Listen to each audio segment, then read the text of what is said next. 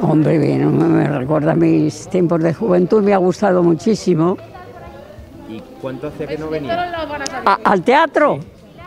Pues llevo siete años en esta residencia y, y ya un poco mal, pero hemos ido a alguna, ¿Y, y qué es lo que va a ver hoy? ¿Sabe, le han dicho algo?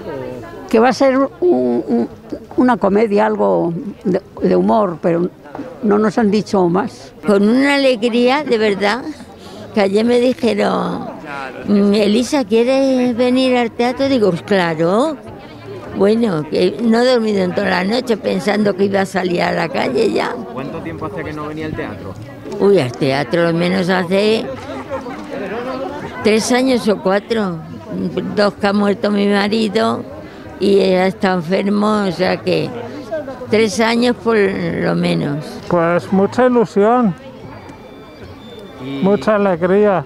qué es lo que le han dicho que va a ver? ¿Lo sabe? ¿O No lo sé, una Pero- comedia, creo, no? pero una comedia o un monólogo o algo.